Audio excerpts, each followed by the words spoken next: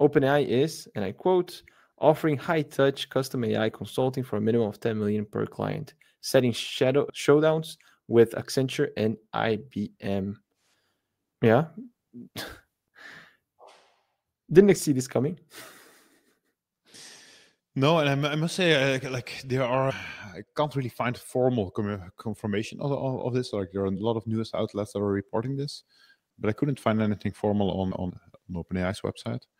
So basically, the the premise here is that if you are if you are in need to let's say fine tune a, a large like really high performance uh, large language model openai can do it for you for at least with an entry ticket of 10 million dollars which honestly like for fortune 500 companies is not that yeah. much it really brings a competitive edge and it is interesting to see because like it's it's not something they do today like they're a product company here they're basically if if this comes to fruition like they're building a basically a consulting arm mm-hmm.